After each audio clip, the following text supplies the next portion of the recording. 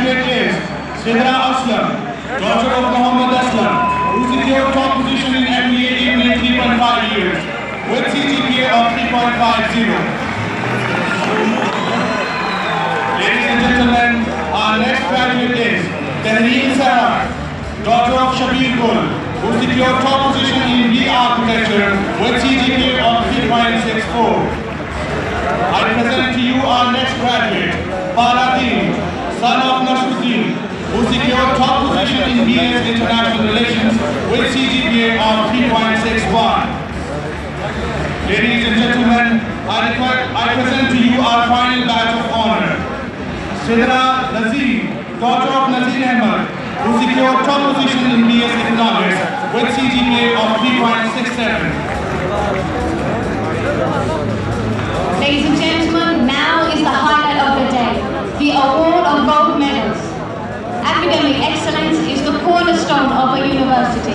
Our gold medalists are our ambassadors who reflect through their academic accomplishments what UTM strives for.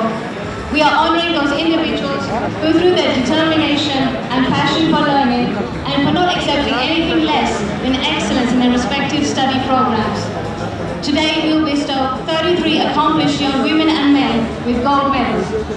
Ladies and gentlemen, may I now request the Honourable Chancellor to award the gold medals to the graduates. I present you our first